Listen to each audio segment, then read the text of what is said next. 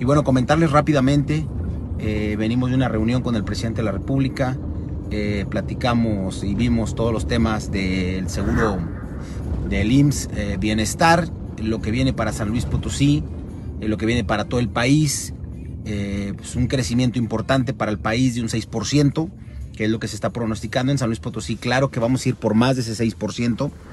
Y bueno, en San Luis Potosí en específico iremos con una recuperación de más de 14 mil empleos, que son los que se habían perdido en la pandemia. También comentarles rápidamente a todas y todos eh, que en IMSS Bienestar eh, vamos a poder eh, hacer grandes proyectos para San Luis Potosí, como esta Tamazunchale, que se va a sumar a, a, una ampliación en Tamazunchale con el tema del IMSS Bienestar.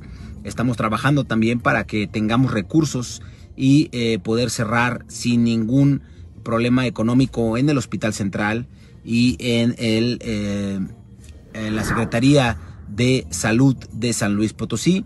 Ya estamos trabajando para poder eh, garantizar el abasto de medicamentos, garantizar el abasto eh, de insumos y sobre todo los sueldos de nuestros héroes sin capa, que son nuestros médicos de San Luis Potosí. Muy contentos de esta reunión y bueno, pues seguimos trabajando.